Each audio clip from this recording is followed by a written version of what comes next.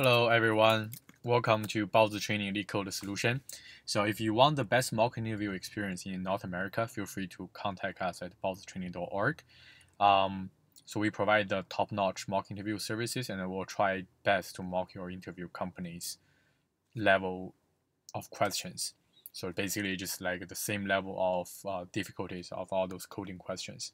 All right, so today we're going to look at this problem. Uh, it's a LeetCode problem 538 is called convert binary search tree to greater tree. So uh, quick overview of the problem statement. So essentially giving you a binary search tree, each value is a simple integer and then assuming there's no duplicate values. Those are all very good uh, clarification questions to ask your interviewers. What uh, the problem is, is so they want to, after doing this, so each node should be basically the value of itself and all the nodes, all the values that are greater than this value, uh, the sum. Ah, sorry, what I'm saying. So essentially, it's like uh, all the elements, the sum of all the uh, all the elements that are greater than this current value. So we should uh, basically add this those values to itself, and then this value becomes itself, and it becomes the new value. So for example, if you look at this, right? So the node five, uh, all the in this tree, all the values greater than this 5 is 13. So you add 13 to it, to it. It's like 18. And for 2, there are two values in this tree are greater than 2. So it's 5 and 13. So that will be basically 18. 18 plus 2 is 20. So this is uh, uh, basically the problem. So that's why in the beginning, uh, I said, okay, is there going to be duplicate elements in this tree? So it's a very good question to ask. Normally, there's none. So if it is, so it depends how you store the duplicate values. You could either like always store them appended to the right, or you can keep a counter or something in the in the node. Up to you. Uh, so here's the thought process. Um, so the first process you can think about it is normally when you're dealing with a tree, right? You know they have this tree structure, but if you're kind of like have no idea where it's going, so you can always serialize this tree structure into like an array. So for example, if you're doing a normal binary uh, in order traversal, so this 2, 5, 13 will becomes 2, 5, and 13. So it will be strictly in ascending order uh, if there's no duplicate. And then you can simply do a rolling sum, right? So you can basically start from the um, from the most right part 13, and then you can basically keep this rolling sum, and then 18, and then 20. Uh, so that's that would be the first uh, naive solution.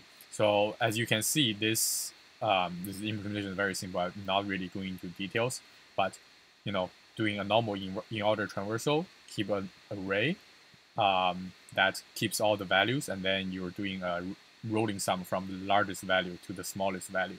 So this, of course, requires a uh, ON time complexity because you're doing in order traversal, you iterate through all the tree nodes, and then requires ON space complexity because you have a extra array. So now if you think about another way, so the, normally you should uh, take advantage of the tree structure, right? So how can you do it without any extra space and online? So if you you know all the right subtrees value are larger than than the current node, and all the left subtree values are smaller than the current node. So what happens if you are doing a still kind of like in order traversal, right? But instead of going to the left first, you're going to the right first. You always will find the largest value so it's kind of like when we're doing this array thing, right? So you always know you find the rightmost value. And then you keep a rolling sum, just like we do in the naive solution. And then just basically you can keep this sum and assigning the values while you are doing the tree traversal, but this time you're doing from right to right uh, to left. So essentially the code works that, okay, you find the, this value 13, and then you keep the rolling sum, now it's 13. So now it goes back, so 15, uh, 5, so basically you pass them 18, so now the rolling sum is 18. Then you go go to the left part because all the you already at this moment because you always visit the right, you already visit all the all the right subtrees. And then that means you already visit all the nodes that value are greater than the current value. So that code is very simple in that in that sense. So keep a rolling sum. Uh, I always reset because normally I write a main function just to test locally. So you're doing always go to right first, keep the accumulating sum, and then you're doing the left first. So the type com complexity is still ON because you're still traversing all the nodes, and then the space complexity will be, you know, you can say it's actually constant or log n, uh, not constant, log n because you are doing the uh, recursion.